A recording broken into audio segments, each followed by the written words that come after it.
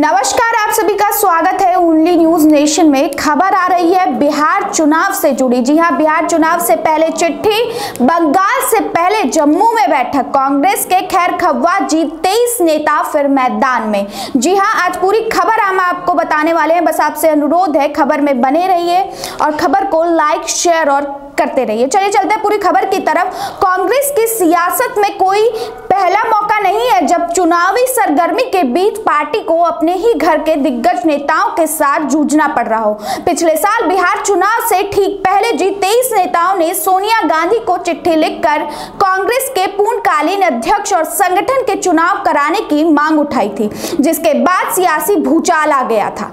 अब वहीं बंगाल साहित्य पाँच राज्यों में विधानसभा चुनाव की सियासी तपिश के बीच गुलाम नबी आज़ाद की अगुवाई में जी तेईस नेताओं में से आठ नेताओं ने जम्मू में बैठक की, जिसमें साफ़ साफ़ कहा गया कि वो कांग्रेस के साथ हैं, पर पार्टी के मौजूदा हालात उन्हें मंजूरी नहीं दी है। ऐसे में जी तेईस नेताओं की बैठक की टाइमिंग को लेकर कांग्रेस ने सवाल खड़े कर रही है। गुलाम नबी आज़ाद सहित जी तेईस के आठ नेताओं ने जम्मू में शांति सम्मेलन में भगवा पगड़ी पहनकर एक तरह से, नई हलचल पैदा कर दी है। गुलाम नबी के अलावा भूपेंद्र सिंह हुड्डा कपिल सिब्बल आनंद शर्मा राज बब्बर मनीष तिवारी विवेक तनखा सहित खूब और नेताओं ने भी इस बैठक में शामिल रहे। गांधी ग्लोबल के इस मंच पर सोनिया और राहुल गांधी की तस्वीरें नदारत थी। राजनीति विश्लेषण मानते हैं कि यह महज संयोग नहीं था बल्कि सोची समझी रणनीति के तहत गांधी परिवार के खिलाफ के संकेत हैं। सोनिया राहुल के खिलाफ बिगुल। जी हाँ कांग्रेस पार्टी के आंतरिक लो, लोकतंत्र और अध्यक्ष पद, के लिए चुनाव का जो मुद्दा उठाकर सोनिया की आँखों की किरकारी बनने वाले आज़ाद ने अपने समर्थनों के साथ शनिवार को जम्मू से सोनिया राहुल के खिलाफ बिगुल फूंक दिया था। गा, गांधी ग्लोबल फैमिली की ओर से आयोजित शांति सम्मेलन में कांग्रेस के लगातार कमज़ोर होने की बात कही थी। खुलेआम कहा गया था कि कहा गया है कि वे हैं तो कांग्रेस है। सम्मेलन में, मंच में यह भी कहा गया कि जब प्रधानमंत्री मोदी आज़ाद की तारीफ़ कर सकते हैं तो पार्टी को उनके अनुभवों का लाभ लेने में क्या परहेज है?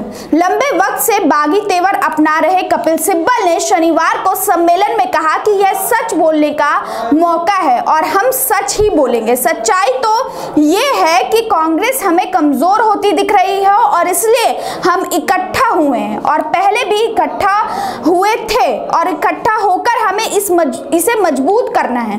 कपिल सिब्बल के अलावा आनंद शर्मा तमाम कांग्रेसी नेताओं ने गुलाम नबी आज़ाद के समर्थन में खुलकर खड़े होने की बात कही।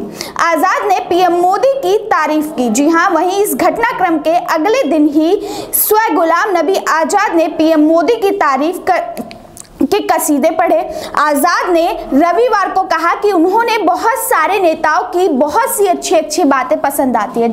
जैसे कि हमारे प्राइम मिनिस्टर हैं, वो कहते हैं कि मैं बर्तन मांजता था और चाय बेचता था। सियासी तौर पर हम उनके खिलाफ हैं, लेकिन कम से कम असलियत नहीं छिपाते हैं। अपने आपने अपनी असलियत छिपाई तो आप एक ख्याली और बनावटी दुनिया में रहते हैं। सिंघवी बोले, बैठक की जगह प्रचार करना चाहिए। कांग्रेस नेता और राज्यसभा सदस्य अभिषेक मनु सिंघवी ने कहा कि जो जो लोग रैली को संबोधित करने जम्मू गए हैं, जिन्होंने भाषण दिए हैं, वे बहुत ही सम्मानित और आदरणीय व्यक्ति हैं। कांग्रेस उन सब की, का बहुत आदर करती है और हमें गर्व है कि उनका बहुत लंबा जीवन, यानी समय कांग्रेस पार्टी में बीता है। वे सभी हमारे कांग्रेस परिवार के अभिन्न का हिस्सा है। हालाँकि उन्होंने कहा कि मुझे लगता है कि कांग्रेस पार्टी यह समझती है कि जब पाँच राज्यों में विधानसभा चुनाव हो रहे हैं, जिसमें कांग्रेस संघर्ष कर रही है तो ज़्यादा उपयुक्त होता है कि आज़ाद सब, सहित सभी नेता इन प्रांतों में प्रचार करते और कांग्रेस का हाथ मज़बूत करते तथा पार्टी को आगे बढ़ाते।